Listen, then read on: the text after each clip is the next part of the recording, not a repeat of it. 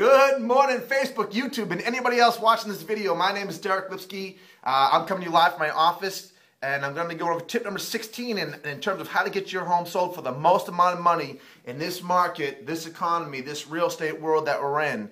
Okay, so tip number 16 is going to go submit, uh, contact every qualified buyer in our database to show them your home. So the reason you hire an agent like myself is because we have, number one, a large database, but we have a lot of listings.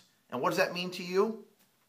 We have a lot of signs out there, which means we get a lot of signed calls, which means we have a lot of buyers constantly calling us looking for information. And since most buyers don't move into the house they call on, we can bounce those those buyers to your house. So it's cross-selling. That's a big part of this business. So we're going to have a database.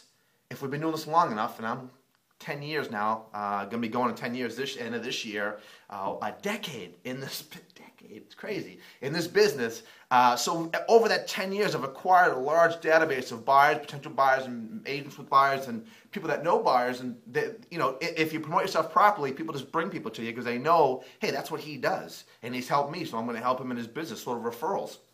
So uh, that being said, we build a whole database of people that we can always say, hey, we just got this new listing. Do you know anybody for anyone for it? So every time I get a listing, I email it to my entire database saying, hey, do you know anybody that's looking for a home like this? Because it's a big pool of people that number one know me, but also know that I have a good product usually. I mean, I, I put us on the market that actually are priced right and I stage them correctly. They look good. in fact, most times I put a home on the market, the seller looks at the listing and is like, wow, I'd buy this yeah, it's your house. I know.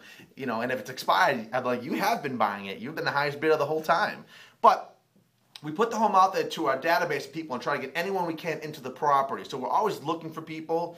So that's a big part of this business right now. And that's why you want to go with an agent like myself that carries somewhere between 10 and 20 listings because we're always working with a lot of buyers. It makes it a little bit easier to get your home sold through the cross-selling process. That's tip number 16. Um, if you want to see any more videos about how to get your home sold, the other tips, go ahead and click right here. And uh, I'm going to link you to my page where you can have a lot of the tips. And if you are interested in getting these sent to you directly for free, click right here and subscribe. And it'll come to you directly, which is kind of cool. Um, also, friend me on Facebook. My name is Deric Lipski, uh, D-E-R-I-C-L-I-P-S-K-I. If you go to Facebook, um, you know, you can see me there. Just friend me. And uh, hey, I don't do this for fun. I do it to be number one. I'll talk to you later.